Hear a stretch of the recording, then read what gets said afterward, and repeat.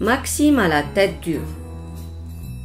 Assis sur son lit d'hôpital, un bandage sur le sommet de la tête, Maxime, le directeur du bowling, explique à l'inspecteur Lafouine ce qui lui arrive. Comme chaque soir, je comptais la recette de la journée. Alors que je me levais pour placer les billets dans le coffre, quelqu'un m'a assommé avec une quille. Quand les pompiers m'ont ranimé, l'argent avait disparu. Qui était présent dans le bâtiment au moment de l'agression? Demande la fouine.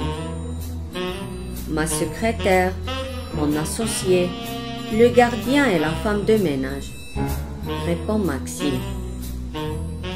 L'inspecteur vérifie la libye de chaque suspect. Secrétaire, une femme beaucoup trop parfumée, a passé la fin de la journée à taper du courrier en retard. Le gardien, un ancien militaire, a fermé toutes les pistes du bowling avant de prendre sa place devant les écrans de surveillance.